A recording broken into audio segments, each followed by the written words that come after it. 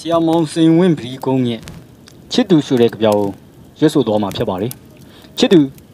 မင်းညတော့ဝီဇီယာဇက်မှာအတက်တထောင်ရောင်ဆောင်တသန်းဘလူးမအခန်းကိုလဲအမခန်းမင်းပိုင်နေကိနရီချောင်းချမှာလေတနာစီယာအဖြစ်ချစ်သူအတွက်မျက်ရည်ကြဟန်ပူပန်ဟန်လို့